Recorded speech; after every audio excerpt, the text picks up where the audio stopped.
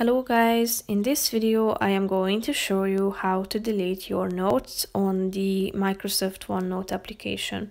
But first I just want to mention, don't forget to subscribe to my channel because at 10,000 subscribers I am going to show you my whole YouTube revenue statistics and growth strategy, how to make money online. So let's jump into it. First of all, open the application on your phone after that, you should tap on the sticky notes uh, icon down below, which is the last option. Here um, you can find the section containing all of your notes that you have already created.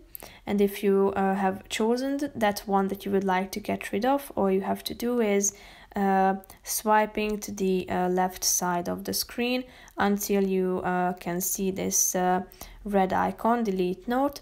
After that, this box will pop up to you uh, with the question delete note. So it will be permanently deleted from all your devices if you are sure that you want to uh, finish this process.